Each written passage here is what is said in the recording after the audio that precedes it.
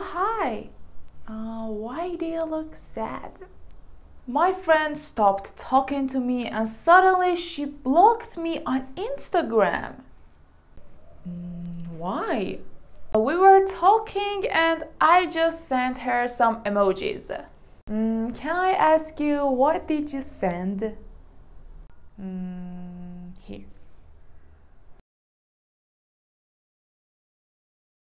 Actually, you told her that you don't like to go out with her.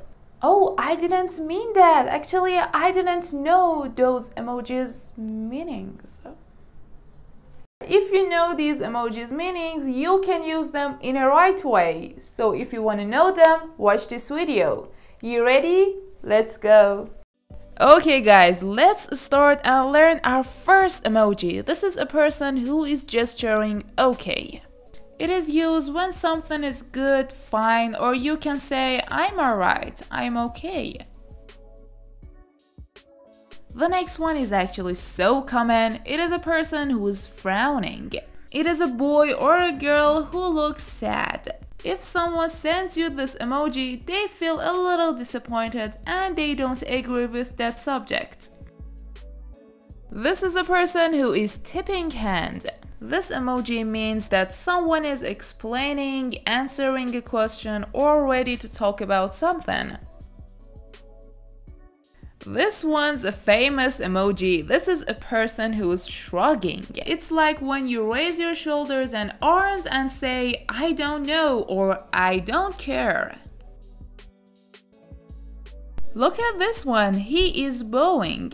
You can use it when you want to ask about for a help or when you want to apologize like I am sorry. Also, it shows respect.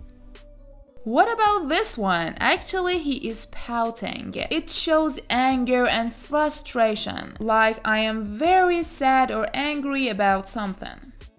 This man is gesturing no.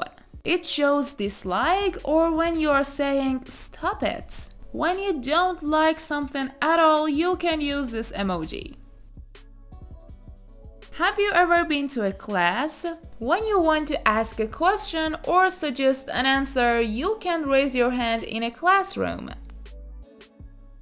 The next one is so relaxing because this girl is getting massage. It is used when you want to be calm and relaxed in a stressful situation. The next one is so clear, a person who is getting haircuts. So when you wanna start having a new hairstyle, you can have a haircut and use this emoji. The next one is a person in steamy room. It generally means sauna, relaxing, taking a bath or a shower. The next one is a deaf person. It shows someone who is not able to hear clearly or can't hear at all. The next one is a person who is face palming. When you are so embarrassed or disappointed about something or a person, you can use this emoji. The next one is a person in suit levitating. Well, it kinda shows a style of hat, also it is known as a rude boy. Look at this boy, he is kneeling. It is like sitting on knees with hands on laps. And it shows praying or resting. The next one is a person with white cane. Well, it is generally used when a person is visually impaired. Also, you can use it when you want to say you are lost and can't find your way. Oh, I love this one. This is a person who is dancing. It is used when you have so much fun at a party.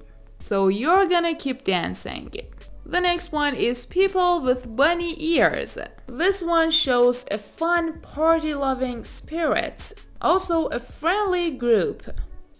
Okay guys, that was it for today's video. If this video was useful for you, don't forget to subscribe to my channel and like this video. Also, if you have other questions, you can ask me in the comments. I will read all of your feedbacks and answer your questions. So yeah, that was it for today's video. Thank you for watching. I hope you enjoyed it.